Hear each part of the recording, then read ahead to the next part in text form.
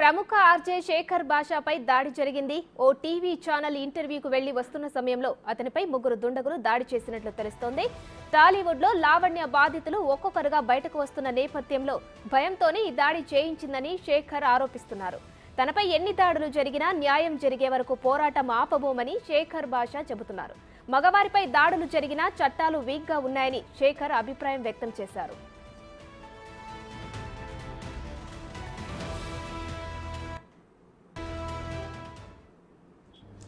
అంటే నేను అనుకునేది ఇప్పటిదాకా రాజ్ తరుణ్ లావణ్య వాటికి సంబంధించిన ప్రూఫ్స్ ఏం తీసుకొచ్చినా కూడా వాళ్ళు ఏదో మాటలు బట్ ఎప్పుడైతే ఆవిడ డ్రగ్స్ చిన్న చిన్న పిల్లలకి కూడా డ్రగ్స్ అలవాటు చేసి వాళ్ళని కూడా నాశనం చేస్తుందని చెప్పి నేను ప్రూఫ్స్తో సహా ఆ విక్టిమ్స్ని కూడా మీడియా ముందు తీసుకొచ్చాను. ఆ ప్రీతి అండ్ ఉదయం తీసుకురాగానే అప్పుడే మీరు గమనిస్తే ఫస్ట్ టైం వాళ్ళ పేర్లు వినగానే ఆవిడ రెచ్చిపోయి చెప్పులు విసరడం దాని గురించి మాట్లాడకుండా నన్ను అనుకోవడం.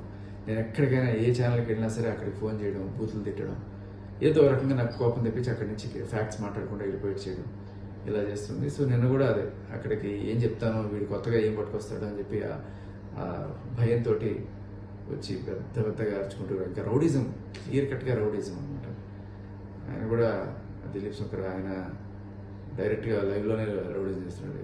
పచ్చి బూతులు తిడుతున్నాడు ఫ్యామిలీని తిడుతున్నాడు. సో బెదిరిస్తున్నారు. అక్కడ తాకుండా బెదిరింపులు ఓన్లీ సరే మాటలతోనే అనుకుంటే బట్ చేతల్లో కూడా వాళ్ళు గుండాలను తీసుకొచ్చి అర్ధరాత్రి వెళ్తుంటే కరెక్ట్గా కాపు కాసి ఇలా కొట్టడం అది జరిగింది. చాలా మంది ఆడపిల్లలకు లావణ్య డ్రగ్స్ అలవాటు చేసి వారిని బ్లాక్మెయిల్ చేస్తోందని శేఖర్ ఆరోపిస్తున్నారు. మొదటి నుంచి ఆమె రాజ్ తరుణ్ను ఇబ్బంది పెడుతోందని చెబుతున్నారు.